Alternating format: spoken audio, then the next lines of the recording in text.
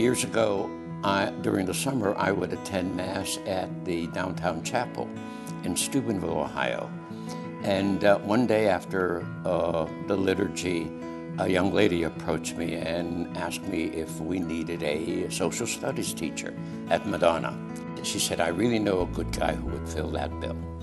So I said, okay, how about giving me his address? And uh, I will send a letter to the principal who happened to be in New Jersey at the Mother House at that time.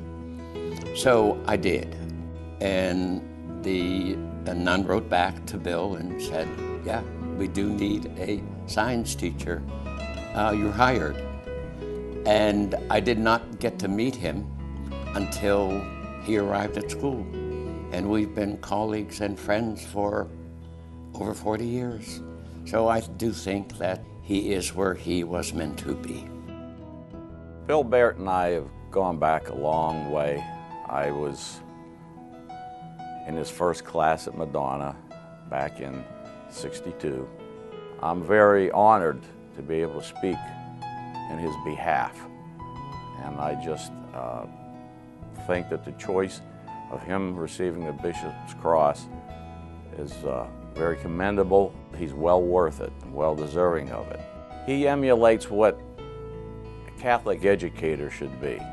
I can't say enough about the longevity that he has you know, put in in Catholic education, and Madonna has been fortunate enough to have all those years. Having Mr. B for history class, it's always a treat, you know. Once you can decipher his writing, then we learn a lot. You know, we're always doing stuff every day in his class, and he always makes us laugh. It's just a real treat to be in his class. He's just a nice man, you know, someone if you needed anything, you could go talk to him, you could be comfortable. He's so funny. He's just a nice guy. I've known him for over 40 years.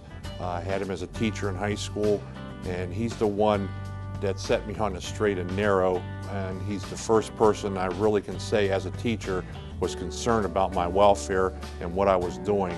So I owe a lot to him. It's, it's long overdue that he receives this Bishop's Cross. I can't say enough about him.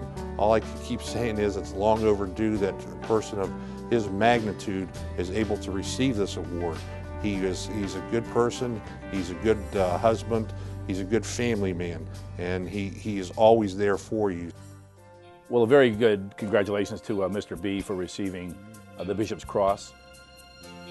I have been part of the Madonna community now, this is into my third year, and I see him most regularly at the morning masses.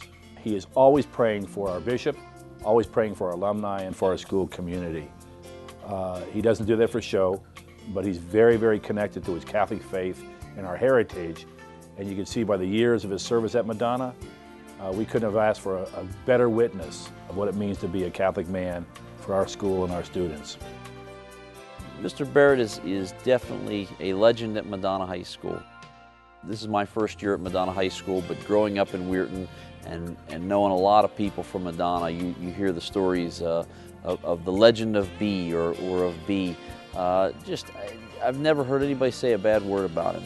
And it's real unique having been at Madonna for 47 years Mr. Barrett's had the opportunity to not only teach children of former Madonna students, but grandchildren of Madonna students. And uh, you know, this year I know he has a couple students who are third generation students at Madonna that he's had the, the, privilege of, of, having in class. Just a wonderful teacher, a wonderful man, and it's just a, a privilege to have him on our staff at Madonna.